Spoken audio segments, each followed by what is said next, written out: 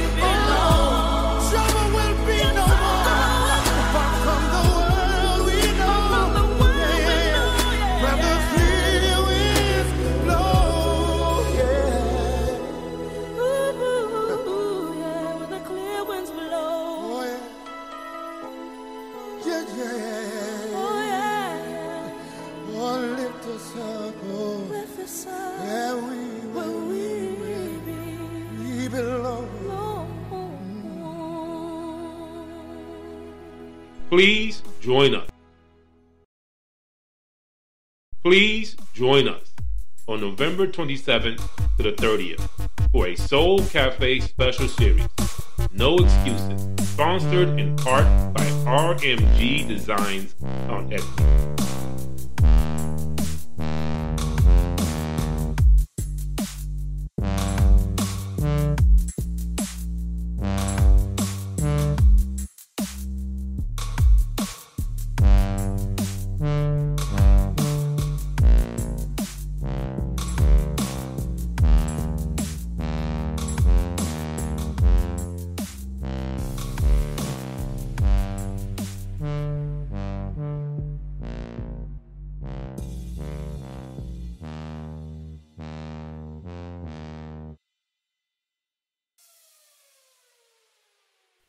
Welcome to Soul Cafe Radio, where we cater food for the mind and soul. Please join us this hour for uplifting music, messages, and more. And now to the RMG studios in Miami Gardens, Florida, and your host, the Word Master.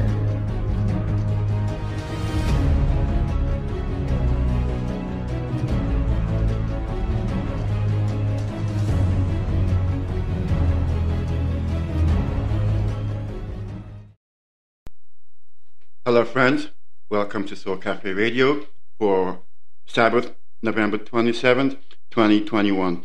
Today, as we begin the series, I invite you to, if you're listening live, to go ahead, grab somebody, share a link, and please, please let them know. This is perhaps one of the most important things that they will hear this week, this day, this year. And if you're listening to the podcast, please, as I always say, don't be stingy about it. Share it with a friend. Again, this is perhaps one of the most important things they will hear in 2021. And I believe in the importance of this message so much that I'm going to give you a little bit before we go to the message, to the music, and more to just give you a chance to go ahead and hit that share button. And so during the intermission for the next 30 seconds, as you're listening live, please go ahead and share this podcast. I promise you, someone will thank you for sharing.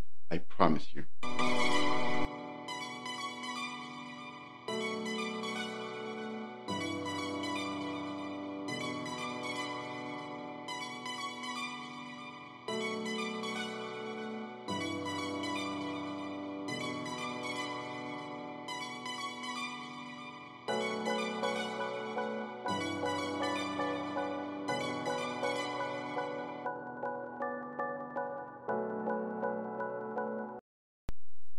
So I want to officially welcome you to Soul Cafe Radio today. We are beginning a four-day series entitled No Excuses, Set Your Standards High.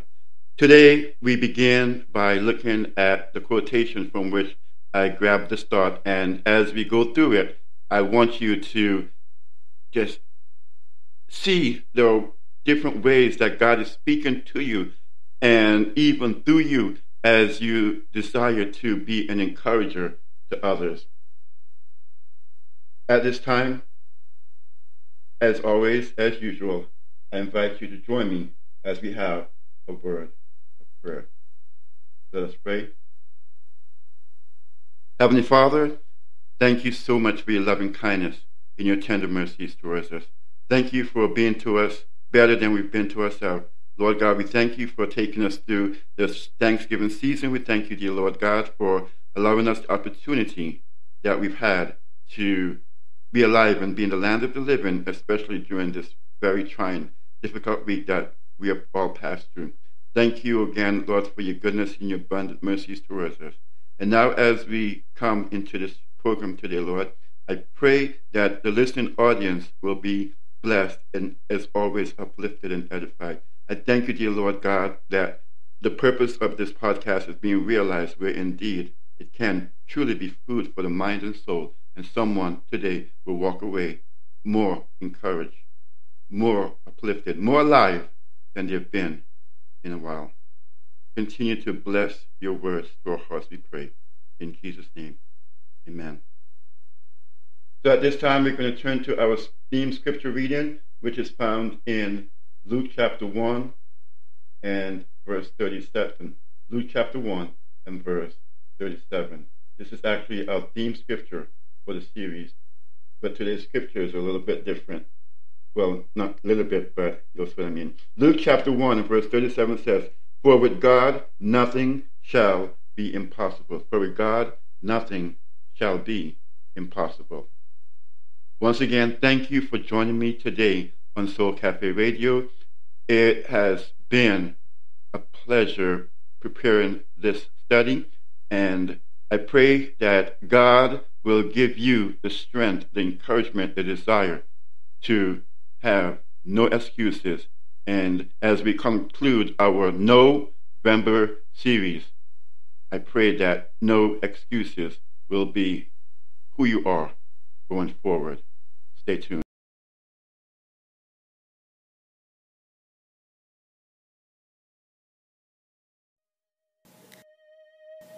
You're listening to Soul Cafe Radio, food for the mind and soul.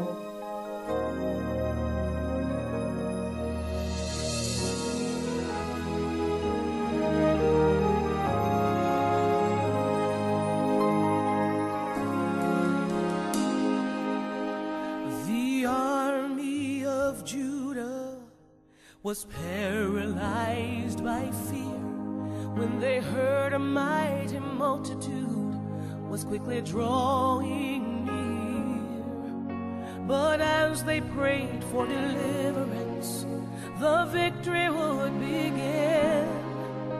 For when we call upon the Lord, we summon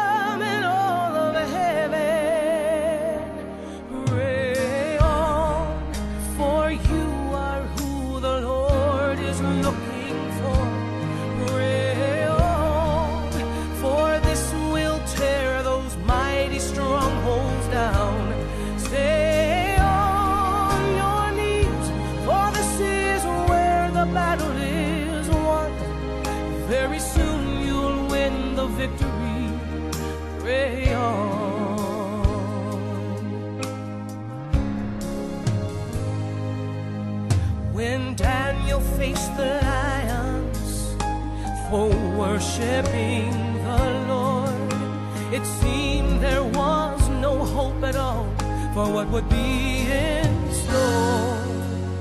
But when we stand on holy ground,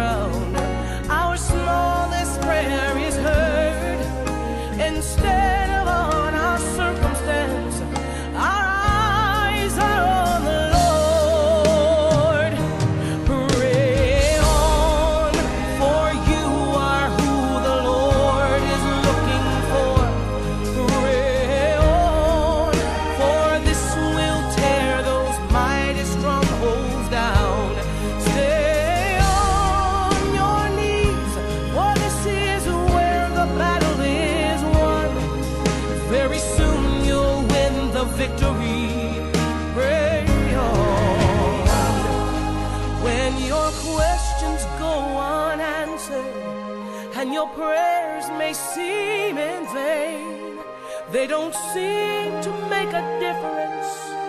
They don't seem to make a change.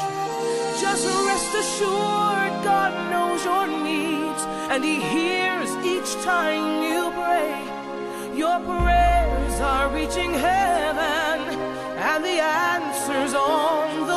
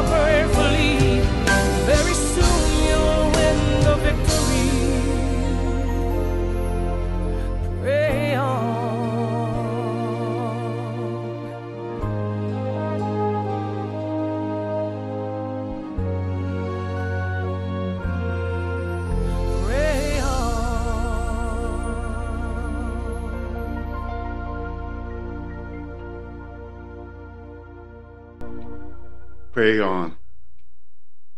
Dear listener, this is perhaps the secret of victory. A consistent prayer life. Pray without ceasing, the Bible says. And if you want to grow, if you want to mature, if you want to reach higher than you've ever been before, as our song that we sung in the intro said, you have got to stay prayed up. And no, it does not mean, as Sister Mason just said, on your knees physically, but yes, on your knees all the time, consistently before the throne of grace. And you need, you need, brethren, to have no walls built up, friends, between you and God. You need to break every barrier down that seems to get in the way. We're going to begin the study in a few minutes but I just wanted to interject here at this point. Just in case someone has to step away who's listening, I want you to know and understand that truly there is no excuses because, as our theme scripture says, with God nothing shall be impossible.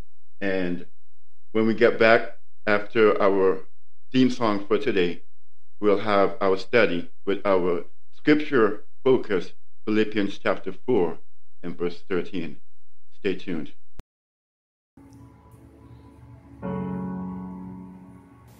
You're listening to Soul Cafe Radio, food for the mind and soul. Please take a few seconds to support the channel. See the info in the description.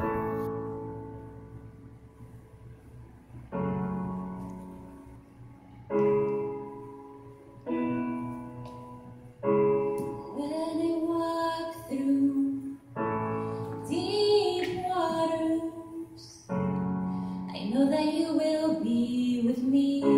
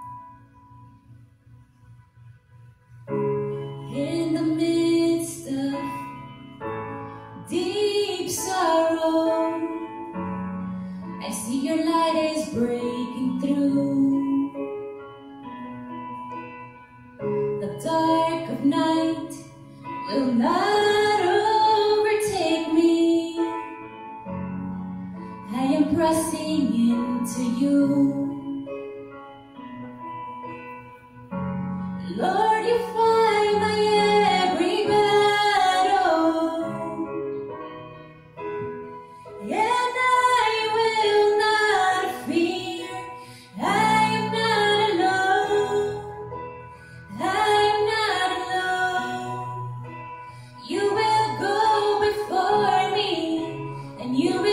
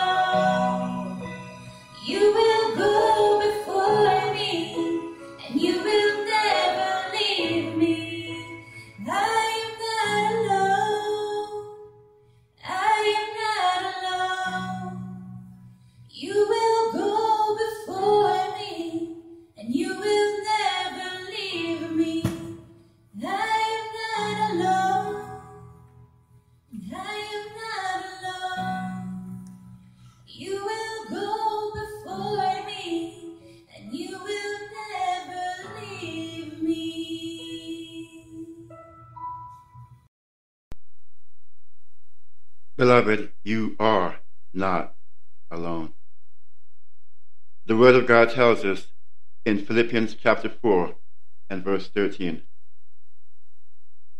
I can do all things through Christ, which strengthens me. Let us pray. Father in heaven, as we begin this period of study, Lord, I ask you to engage my mind and speak to me so that you can speak through me to your people. Father, today, like no other day, this series, like no other series, oh Heavenly Father, I am asking you to please, please, Lord God, just give me the words to say to encourage the hearts of your people.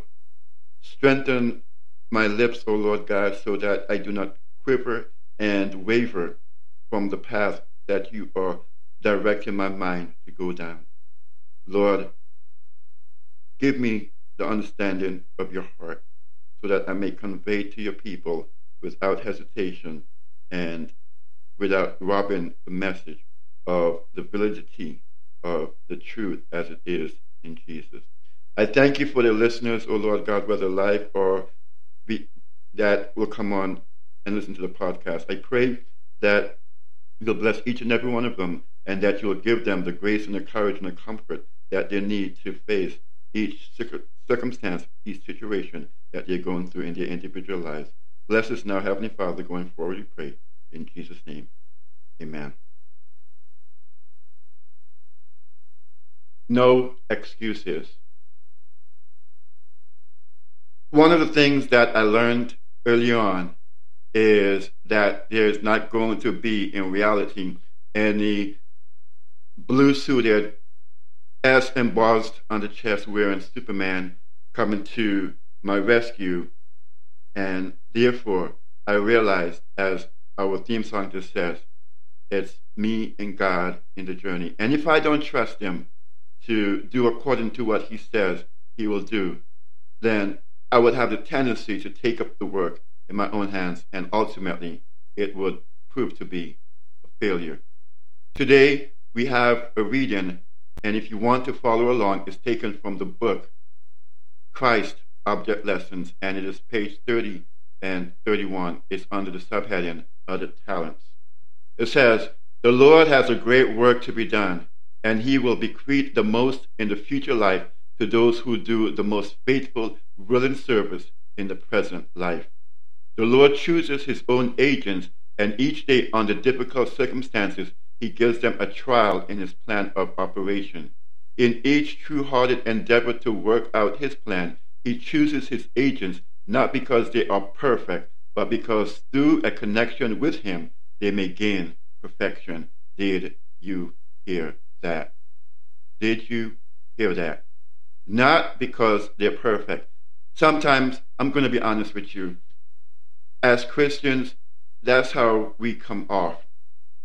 We come off as these perfect people never made a mistake, and therefore, how could the person who has made all the mistakes in the world every day they wake up, they figure, well, it's going to be the same routine. I'm a failure, and I could only fail, and therefore they don't expect great things and they don't attempt great things. God is not calling for the person who feels that, you know, I got it all together to reach the person who feels that I don't have it all together. He calls the person who doesn't have it all together and he refocuses his attention so that he can send them out there into the world of people who don't.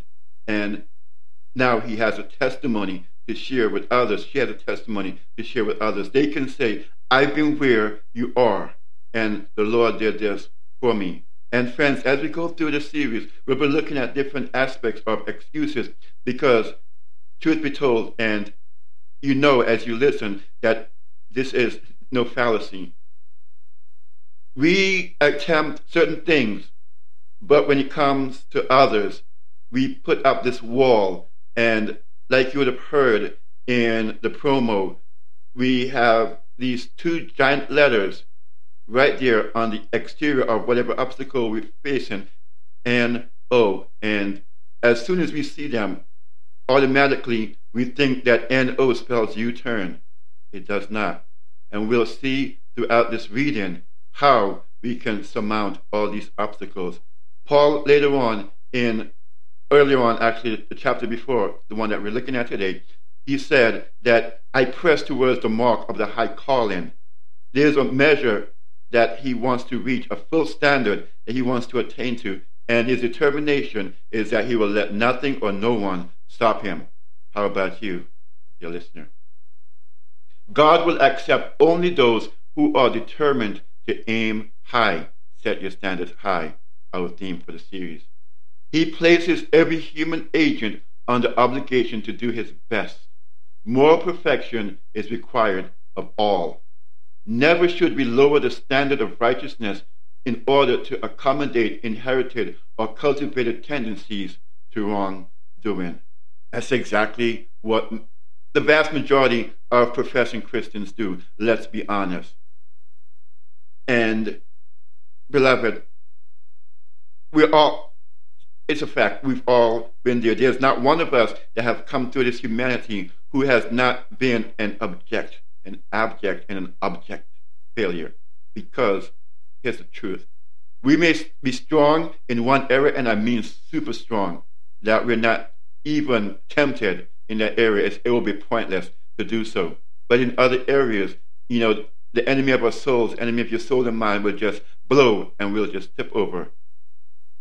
So feeble would even be our attempt to say, I can overcome this. But you know what?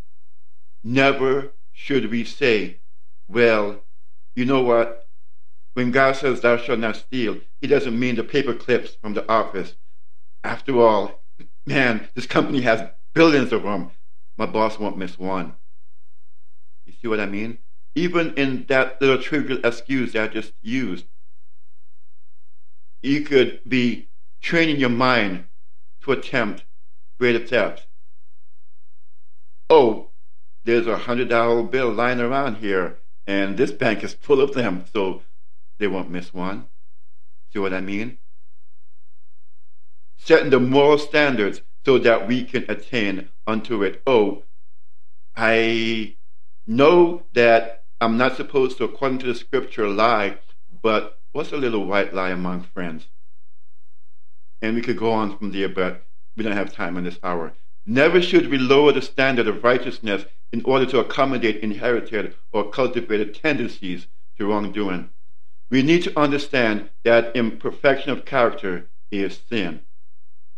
How many of us understand that? Imperfection of character is sin. As long as we don't measure up to the full standards, to the high calling in Christ Jesus, we are consenting to the law that it is good, and therefore, that's why we try to lower the moral standard because we feel that we cannot attain unto it, knowing who we are. Notice what he goes on to say all righteous attributes of character dwell in God as a perfect, harmonious whole, and everyone who receives Christ as a personal Savior is privileged to possess these attributes. I'm going to say this, brethren, and I hope you understand that in you and in me, there's absolutely nothing good of ourselves, nothing at all. There is no way that you can say that without Christ you have perfect peace like a river. It is virtually impossible. Why? Because those are attributes. We looked at that the other day in the Galatians series. Those are attributes of the Spirit. The Spirit does not give you love, joy, peace, patience, and all those other attributes of the Spirit independent of Himself. He doesn't say, Here, John Doe, here, Jane Doe, have these and he is not present. You cannot have true joy, true peace, true love without the manifested presence of God's Holy Spirit. So too, you cannot have a righteous moral character apart from the presence of God. That is why we sin, beloved. We push God out. There's a saying, ego is defined as edging God out. And that's what we have to do in order to sin. Because as the Bible says, as long as God's seed, His truth, His word, His life remains a part of our existence, we cannot sin. The moment we push God out of the equation, that's when we are on, no longer under the umbrella And that's when we sin. We need to set our standards high, dear listener. Christ, as a personal Savior, is privileged to possess these attributes. He wants to be your Savior today. Everyone who receives Christ as a personal Savior is privileged to possess these attributes. He wants to be your Savior today. And those who would be workers together with God must strive for perfection of every organ of the body and quality of the mind.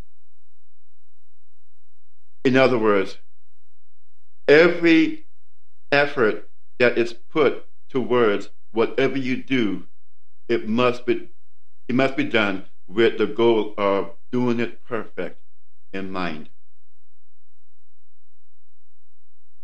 As I often use the example for parents as you listen, you know for sure, know for sure that you don't work yourself into an early grave. You, you, you don't work yourself into early gray hairs, spending money for your kids' uniforms or regular school clothes, their book bags and school supplies and lunch and, or lunch money, just for them to come home with D's and F's.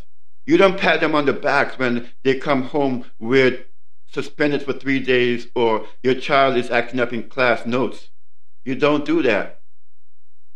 You don't say, that a boy, that a girl, look at the D, look at that F, I'm so very proud of you. You may encourage them to strive higher and better, but you do not accept mediocrity, which is C and D's, or abject failure, D's and F's. You strive, you tell them to strive for perfection. A's if you can, A's and B's if you must. Beloved, why then do we accept mediocrity and failure in our moral character? Why do we say that we cannot be morally perfect when we truly expect, we truly expect our young people to be perfect? And not just in their schooling, but in their moral and ethical character. They tell you one lie one time and it's over. And the list could go on of the moral failings that young people are prone to do. And yet, as parents, you forget that just the other day, just the other morning, when the bill collectors called, you said to, you tell the kid, tell them that mom is in the shower, she'll call them back later. Huh? Right? And those who could be and those who would be workers together with God must strive for perfection of every organ of the body and quality of the mind. True education is a preparation of the physical, mental, and moral powers for the performance of every duty. It is a training of body, mind, and soul for divine service. This is the education that will endure unto eternal life. There's someone who is listening right now, a friend of mine, a school teacher, who I know would truly appreciate that thought because that is what he said during our Galatians series the other day when he was interviewed. That, beloved, is true education. Of every Christian, the Lord requires growth in efficiency and capability in every line. Christ has paid us our wages, even his own blood and suffering to secure our willing service. Did you get that? Did you get that, dear listener? How were you paid? Not with some paperback, not with some measly gold trinkets, but with the precious blood of the dear Son of God who gave his life for you. That's how you were paid, beloved. And so, if that is what, backtrack. in our common work, for the most part, the normal everyday worker does not really get paid what he deserves. As I was sharing on Bible study Friday evening, you work and you work and you work, and then when payday comes, what do you get? You get all these different agencies and organizations and causes getting the brunt of your money, your wages garnished to satisfy this and that, and you're just left with pittance for the most part. And all these organization groups, people are getting richer off your sweat and labor. But notice, in here, what you're being paid actually pales what you're doing in comparison. And so when the Lord says, set your standards high, aim high, achieve greatness, do not settle for mediocrity. Do me this favor, brethren. Look at your paycheck that you get at work. Look at the aggravation and the sheer stress that you get on a regular work hour, whether you work remotely or on site. For the most part, no matter what some people may say, a lot of us are in pressure cooker environments, and the payoff isn't that great. But, beloved, in the service of the Lord, the payoff is great. All he asks is that you aim high, set your mark high. I press toward the mark, the apostle says. I want you to notice that. Philippians 3. He does not say, I press toward my mark. He says, I press toward the mark.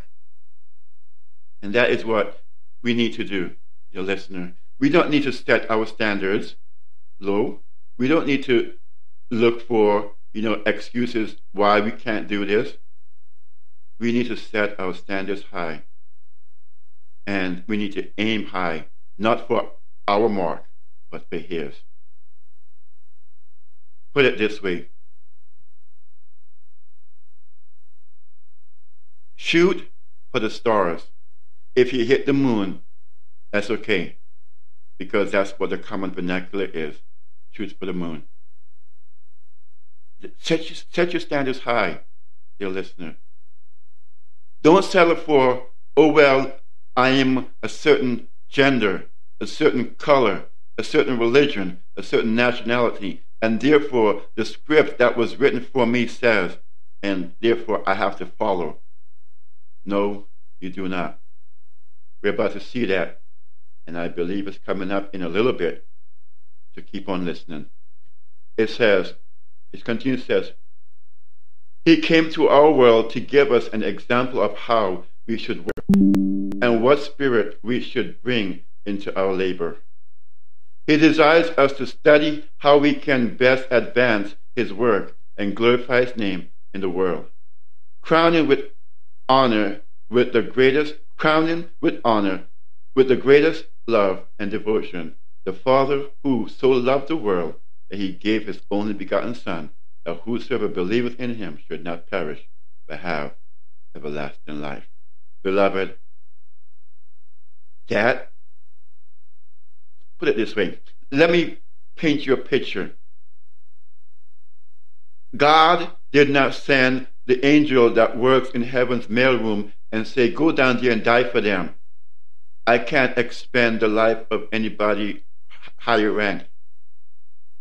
Neither did he say to the CEO, the president of heaven's company, You've been a faithful and good worker. Now I need you to really prove yourself. Go and die for those people. Oh no, my friends. The Bible says that God, the owner, the founder of the company, says, I myself will go down and die for them. That is the standard to which you ought to aim, beloved. The standard where God did not send someone who he would look at, you would look at as the angel that does this job or the angel that does that job, even the highest ranking one who we know as Gabriel, he did not send it either. He sent himself. The Bible says that God was in Christ, reconciling the world unto himself. And if he thought that highly of you, dear listener, not to send an angel in his place, why do we feel the need to dial it in? Why do we phone it in, oh my friends? Please set your standards high. If you attempt, if you attempt much, friends, that's what you receive.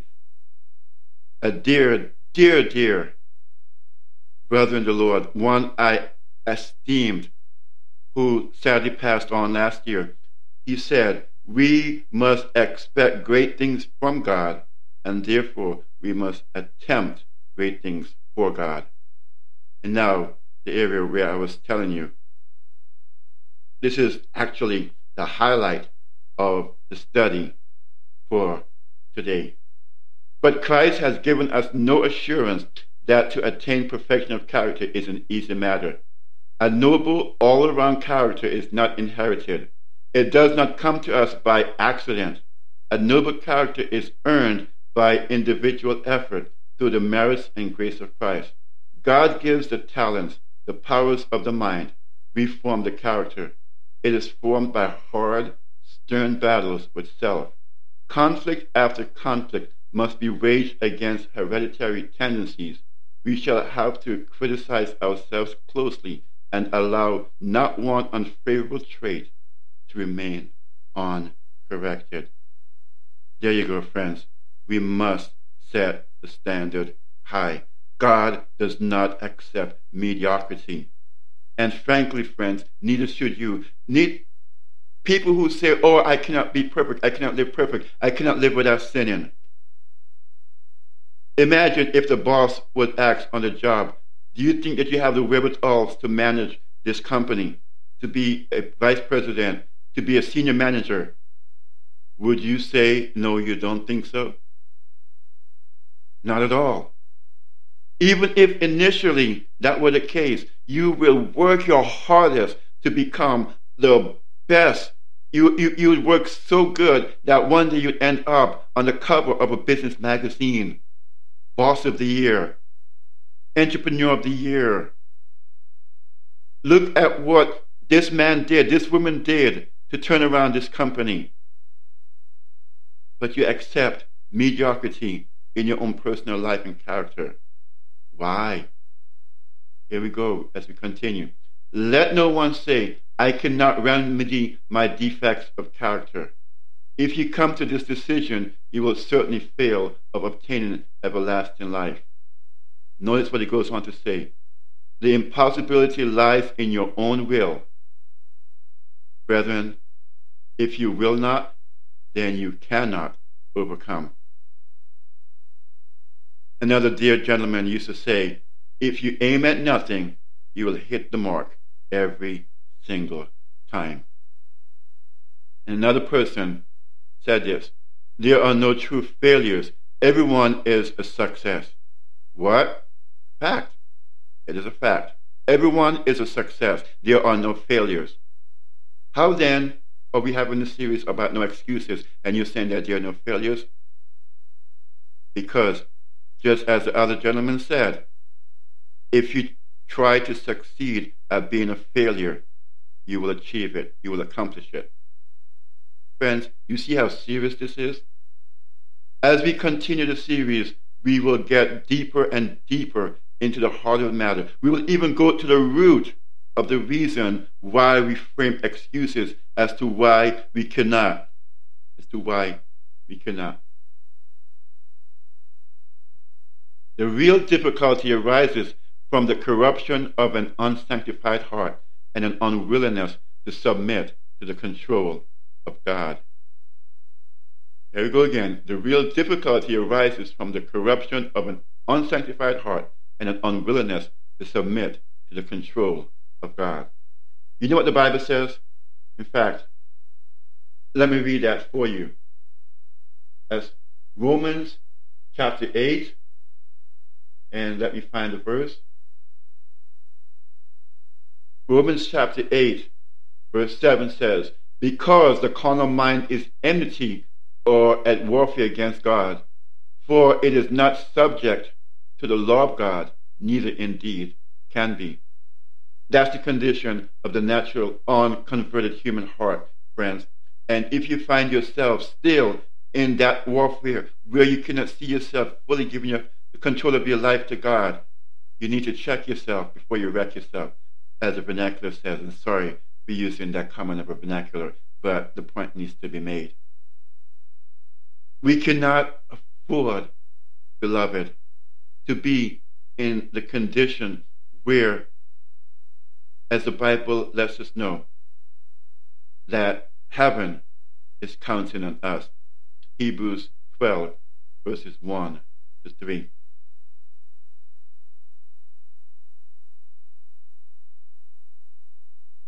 Many who God has qualified to do excellent work accomplish very little because they attempt little. As I just said, the brother said, if you expect great things from God, then you must attempt great things for God. Thousands pass through life as if they had no definite object for which to live. For the next few days, that's exactly what we'll be discussing. The no excuses people who figure that I cannot, I, I, I don't see a way past those giant N-O letters. No standard to reach. Such will obtain a reward proportionate to their works. Remember the one talent steward buried it into the dirt, figuring that even though I'm not investing it, even though I'm not doing what the master said, here's the thing. At least when he comes back, he's going to have some money because chances are I put it out there and there's no return on my investment. But you see, friends, he's living the opposite of that maxim nothing ventured, nothing gained. At least attempt. There's nothing wrong with trying. You fail, you fail. You just dust yourself off and get back on. But you see, many people, after they've hit the floor, it hurts too much to even try. And I'm talking about the first time. And here we go, our high water mark of the study as we wrap up. Remember that you will never reach a higher standard than you yourself set. Then set your mark high, and step by step, even though it be a painful effort, by self denial and sacrifice, ascend the whole length of the ladder of progress. Let nothing hinder you, no excuses. Fate has not woven its meshes about any human being so firmly that he need remain helpless and in uncertainty. Opposing circumstances should create a firm determination to overcome them. The breaking down of one barrier will give greater ability and courage to go forward. Press with determination in the right direction, and circumstances will be your helpers, not your hindrances. Beloved, what an awesome God we serve. To give us messages like these, to give us hope in the midnight hour, that is telling. He lets us know, as our theme song said, I am not alone. God tells us, He will never leave me. Goes on to say, friends, realize that, that the battle is not yours, it's the Lord's. It is. You're only stepping into something that He's already stepped on and smoothed out the path for you. And as you walk behind Him, as you follow Him, you will see that it gets easier and easier, easier and easier.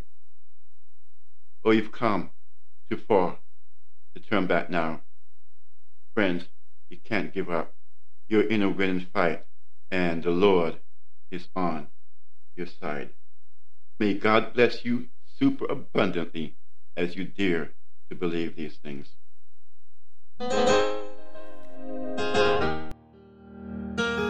You're listening to Soul Cafe Radio, food for the mind and soul.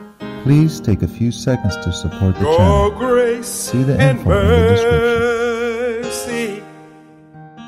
Brought me through. I'm leaving this moment because of you. I want to thank. and praise you too. Your grace and mercy brought me through. Your grace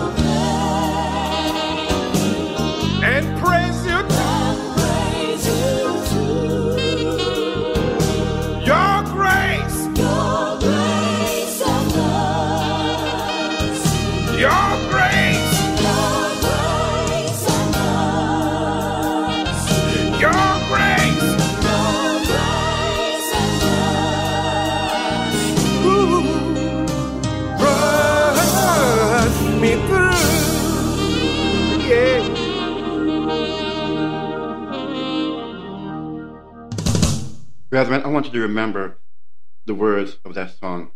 I know this hour we talked about what you are expected to do, but the truth of the matter is that at the end of the day, when we get over there, over yonder, and Christ puts those crowns upon our heads and says, Well done, you overcame.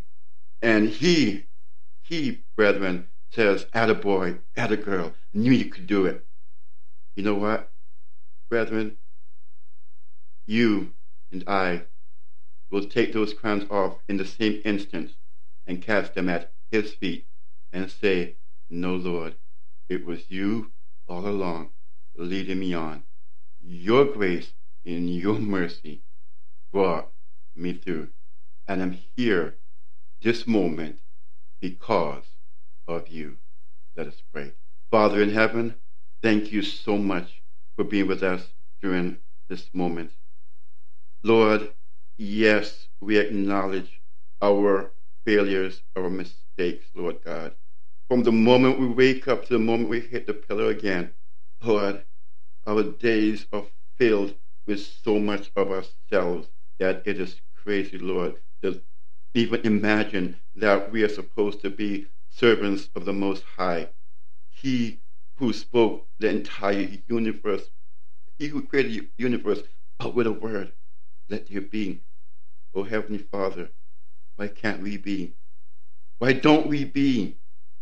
Lord, in this moment, help us, Lord. We need to have clearer, brighter vision. Lord, I'm praying for someone out there who's listening right now who is feeling very low at the moment. Someone shared this link with them and they're grateful they've heard a message that it is the God of the universe that has brought me through throughout 2021. And now, Lord God, they're pondering, where do I go from here? Oh Lord Jesus, come divinely near to that person and help them to see you for who you truly are. Father, thank you so much for blessing us this day, for speaking to our hearts so eloquently. Help us, Lord God, not only to listen, not only to be hearers, but to be doers. Father, going forward, may we aim for the stars. If we hit the moon, awesome. But Lord God, help us never again to set our standards so low, seeing as how we serve not just a mighty God, the Almighty, the Almighty God. Thank you for hearing. Thank you for answering our prayers. And please, as we separate, Lord God, please bring us back once again around this format to hear from you, we pray. In Jesus' name, amen. Thank you, everyone, for your listening ear today on Soul Cafe Radio. It has truly been a pleasure. Please join us for the next three days as we delve deeper into this topic and look more as to why we need desperately to have no excuses, being that we serve an awesome God. God bless. Thank you for joining us today on Soul Cafe Radio. You've been listening to powerful music and messages for the mind and soul. Join us next time when we deliver more of the same. And remember to visit our website at www.soulcafeonline.org.